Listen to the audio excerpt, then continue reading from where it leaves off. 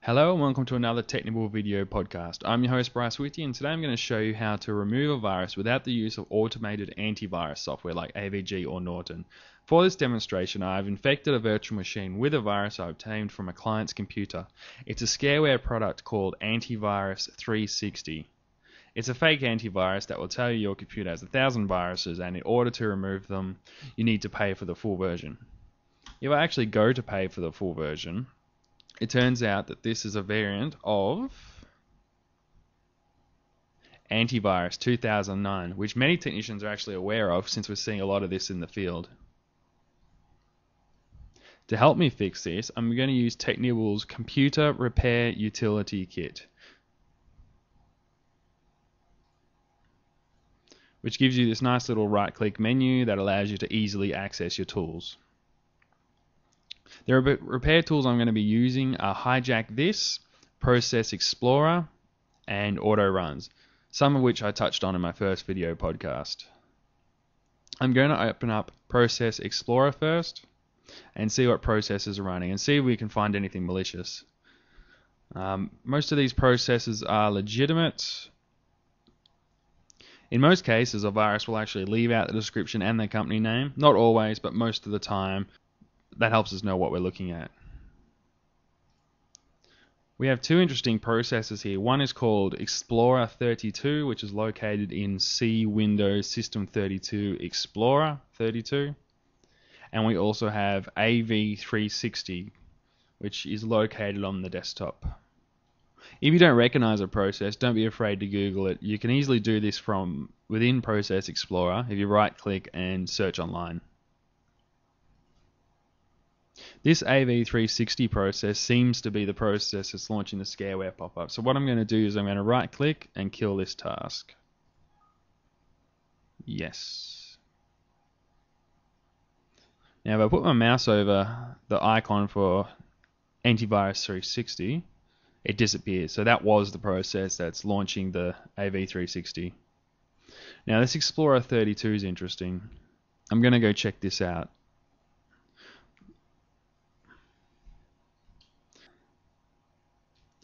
C, Windows System 32.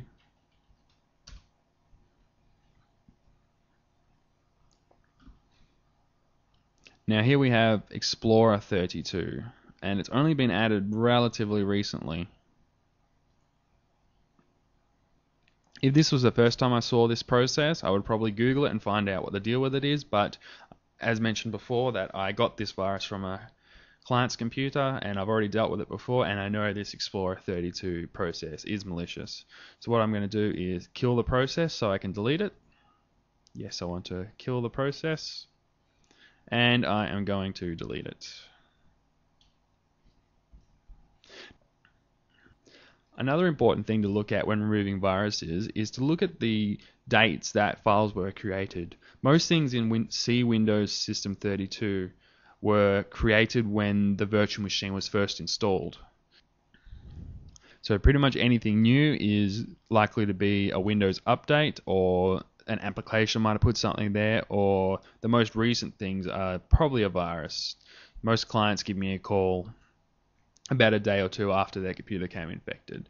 So I'm going to arrange this is arranged by details and by the date modified. And the most recent files are IE updates and winsrcdll.temp. Both are 0k and they were created very recently. Again, if you don't know what these are, you can Google them, but I have dealt with this before, so I know these ones are malicious. So I'm going to delete these two. There are also two other files here that were created relatively recently fntcache.dat and wpa.dbl. WPA has got something to do with Windows activation, and fntcache.dat is something that comes with Windows. Again, just Google it if you don't know what it is. There are a few popular places on a computer that a virus will put a dodgy file in the root of C Windows, range icons by modified, view details. Okay, so nothing new here. These are all pretty normal. Sometimes that puts files in the root drive of C. Sometimes it also puts it in the document settings of the current user. So it might be under local settings, temporary drive, temporary internet. Note that's all clean.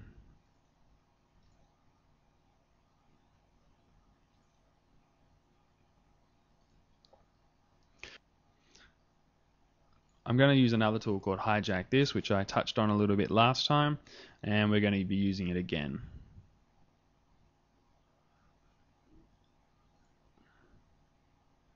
Doing a system scan only, I don't really need to save a log file. Alright, now, for those who don't know what Hijack This is, it lists things that can attach itself to your copy of Internet Explorer or shows things that start up at the when the computer starts up. It's ideal for removing uh, adware and spyware. So the things that we have going here is Java, which is safe. Java, it's safe. Java again is safe. Java. Now this is that Explorer 32 again that's told to start up when the computer starts up. So we don't want that. I'll be deleting that. That's part of nLite when I installed this computer.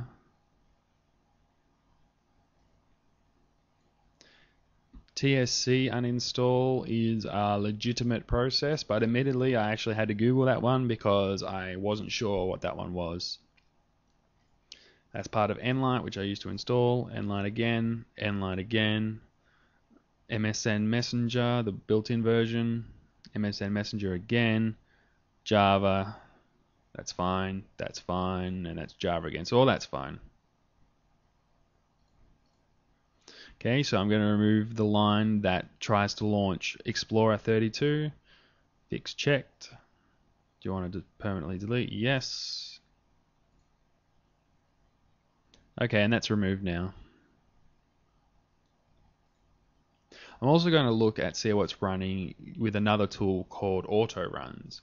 Uh, works some part. It's got some parts of it that are similar to hijack this, but it, it covers a few more areas. I once had a virus that, although there wasn't any processes running, it keep managed to relaunching itself, which was driving me absolutely crazy.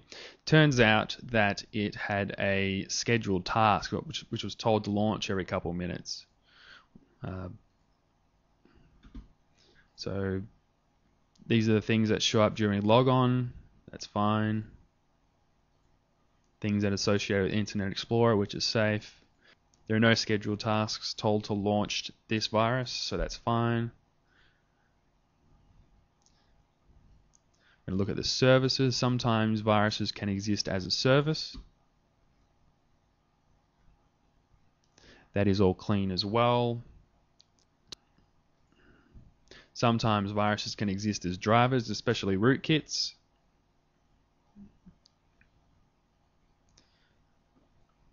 That appears to be fine as well.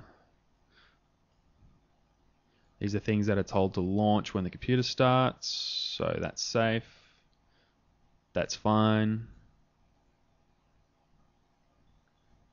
That's fine.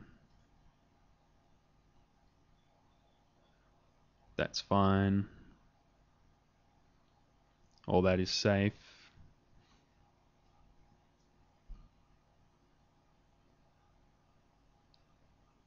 That's safe. That's safe. And that is safe. As I mentioned, if there's nothing, if there's something you don't recognize, just Google it. Sometimes a virus can tell itself to launch during startup, so I can also look at msconfig, which is an application built into pretty much all Windows systems now, and go to startup and that's empty as well. That's fine. That's just Java launching itself. So that's clean, but often you will see viruses that have an entry in here told to start up when the computer starts up. This virus also left a lot of icons and shortcuts to itself everywhere. So to finish off the job, I'm just going to clear up a few of them. I'm going to delete the desktop shortcut. And it has also put one up here which I can delete as well Now I'm going to restart this virtual machine. Often what happens is if you don't manage to get all the files and you restart the computer, the files are aware that part of it's missing and it recreates it and your computer is back to step one pretty much. So I'm going to restart. Restarting.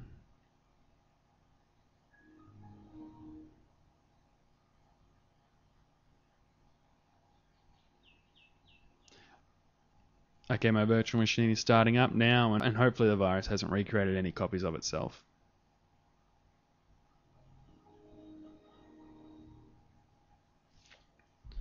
So we're going to be looking for that antivirus 360 icon here. Doesn't look like it's going to launch, so that's good. We've stopped any reference to it of launching, and we've also deleted the executables, so it shouldn't relaunch. I'm going to quickly check with the computer repair utility kit and just double check Process Explorer. Make sure the services aren't back. Nope, they are not back. And I'm also going to check the locations again of where it was showing up before. C, C root is clean.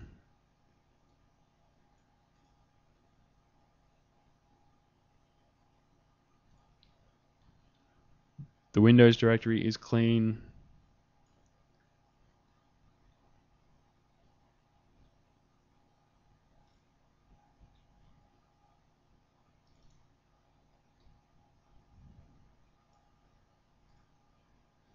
And System 32 is clean. One last thing that's important to check is the system restore of a computer. The system restore can make a snapshot of the virus and keep a copy of itself in system restore. So what I'm going to do is I'm going to turn off system restore, which deletes all the snapshots that it's created.